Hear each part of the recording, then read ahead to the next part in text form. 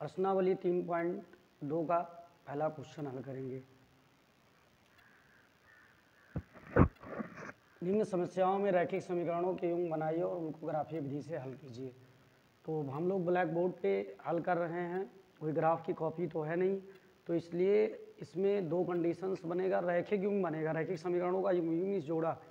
तो दो समीकरण बन जाएगा और दोनों समीकरणों में हम लोगों को ये क्लियर कर देना है कि कोई ऐसा यक्स और वाई का मान जो भी है अज्ञात राशि, उसका कोई ऐसा मान मान, ऐसी वैल्यू जो दोनों इक्वेशन को सेटिस्फाइड करे। तो चलिए आइए देखते हैं, क्या लिखा है? कक्षा दस के दस विद्यार्थियों ने गणित की, एक पहेली प्रतियोगिता में भाग लिया। यदि लड़कियों की संख्या लड़कों की संख्या से चार अधिक हो तो प्रतियोगिता में भाग लेने वाले लड़के एवं लड़कियों की संख्या ज्ञात कीजिए। तो इसमें दो चीज़ें नहीं पता है लड़कों की संख्या और लड़कियों की संख्या। तो हम लोग क्या मानेंगे? यक्स और वाई मान लेंगे। माना लड़कों की संख्या जो है, माना लड़कों की संख्या यक्स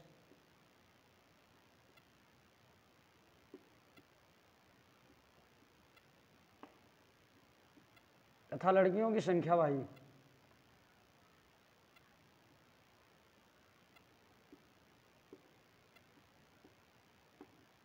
अब क्या है कुल लड़के कितने हैं? दस हैं।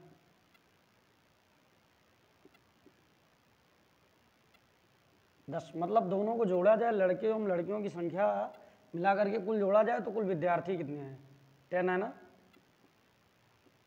तो हम लोग लिखेंगे कुल विद्यार्थी X plus Y equal to ten ये बन गया समीकरण फ़र्स्ट।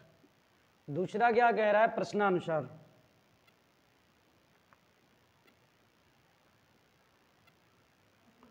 प्रश्न कह रहा है कि लड़कों की संख्या से चार अधिक है। लड़कियों की संख्या चार अधिक है। मतलब x बराबर वाई तो अब y चार ज़्यादा है तो y में से चार घटा लो या x में चार जोड़ लो। तो ये बन गया। y बराबर एक्स प्लस फोर ये बन गया इक्वेशन सेकेंड ठीक, अब क्या करते हैं? ग्राफीय विधि से हल करने के लिए हम लोग x और y के, क्योंकि दो चर वाले रैखिक समीकरणों के अनेक हल, अनंत हल होते हैं।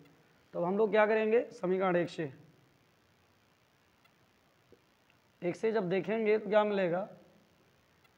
X plus Y equal to हमारा है टेन तो y बराबर क्या होगा? टेन माइनस एक्स ऐसे यूँ रख, बनाया जाए ग्राफ एक बार हम चेक कर लें। कि आ रहा है कि नहीं आ रहा है पूरा?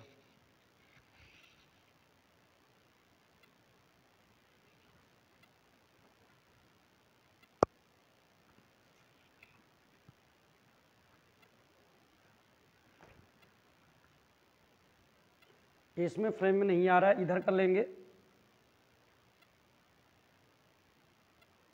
एक्स और वाई का मान जो लिखना है ऊपर लिख लेते हैं। अधिकतम मैक्सिमम तीन वैल्यू लेंगे। ठीक। तो ये एक्स हो जाएगा, ये वाई हो जाएगी और एक निर्देशांक बनेगा नीचे। तो वाई का मान एक रख दो। एक्स का मान नौ आएगा। दो रखो, एक मत रखो। दो रखेंगे तो आठ आएगा। तीन रख देंगे तो? तीन रख देंगे, कुछ भी रख सकते हैं। आप यहाँ x का मान, आप फ्री है, कुछ भी रख सकते हैं।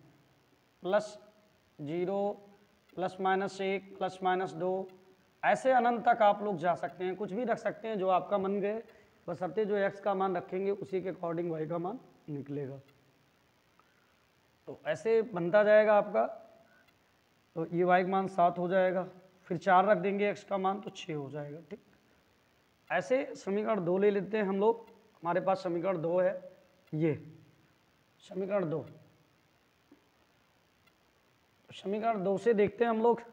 y बराबर एक्स प्लस फोर ऑलरेडी है ना। y equal to X plus four वैसे ऐसे इसका भी x और y का मान निकलेगा।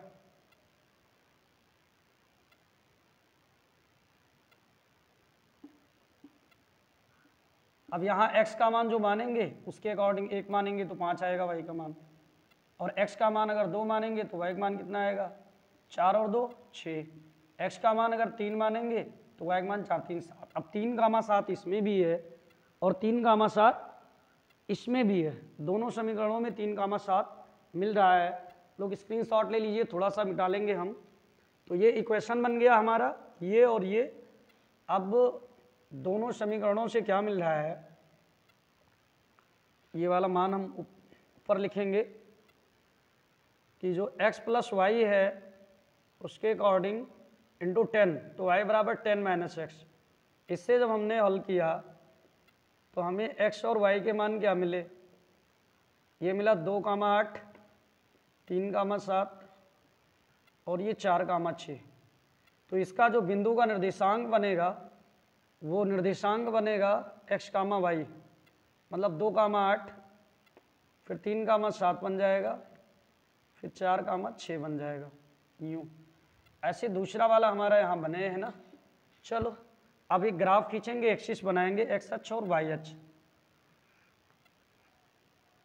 जिसमें वाई अक्ष पर मैक्सिमम कितना है? आठ है ना। तो वाई अक्ष पर मैक्सिमम आठ दर्शाएँगे। और एक्स अक्ष पे मैक्सिमम मान दोनों में जो है वो थर्टी फोर है।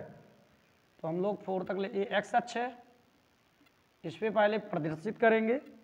ये ज़ीरो मूल बिंदु मानेंगे। एक, दो, तीन, चार, पाँच छः जितना माने। एक, दो, तीन, चार, पाँच छ सात यूँ आठ। इसके आगे बढ़ा सकती हैं वाई अच्छा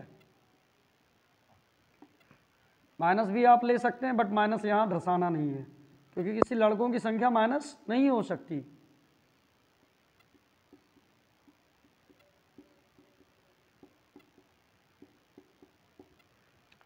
चलिए तो पहले समीकरण से हम लोग ये समीकरण फ़र्स्ट था, इससे दर्शाएँगे। तो दो कामा आठ, दो कामा आठ यहाँ जाएगा। फिर तीन कामा सात, तीन इसके सामने और सात के सामने। तो ये यूँ जाएगा ना, तीन कामा सात यहाँ। चार कामा छः चार इसके सामने छः इसके। चार कामा छः ये एक सीधी रेखा खींचेंगे हम लोग, सीधी रेखा जा रही है ना। चार कामा छः ठीक? अब क्या है? ये किसका है? एक्स प्लस वाई का। ये समीकरण एक्स प्लस वाई हाँ जहाँ पर छेद बिंदु होती है, वही समीकरण का हल होता है। इक्वल टू टेन दूसरा समीकरण हमारे पास ये है तो एक कामा पाँच। एक्स पर एक जाएँगे और वाई पर पाँच एक कामा पाँच यूँ। एक कामा पाँच यूँ बनेगा। फिर दो कामा छः, एक्स पे दो, वाई पे छः। ये यहाँ बन जाएगा। एक्स पे दो कामा छः यूँ बन जाएगा। फिर यह तीन कामा सात तो यूँ जाएगा ना। फिर ये बन जाएगा इस सीधी रेखा। तीन कामा सात हो गया। फिर क्या है? दो कामा छः यहाँ आ गया और एक कामा पाँच ये वाला हो गया। दो कामा छः ये हो गया, एक कामा पाँच ये हो गया। ठीक? तो मेरे प्यारे साथियों, जहाँ ये एक दूसरे को प्रच्छेद कर रही है, ये बना। Y equal to X plus four जहाँ एक दूसरे को प्रच्छेद करें, वो हल हो गया। अगर वीडियो अच्छा लगा हो तो लाइक व सब्सक्राइब ज़रूर करें, अन्य ग्रुप में भी शेयर करें।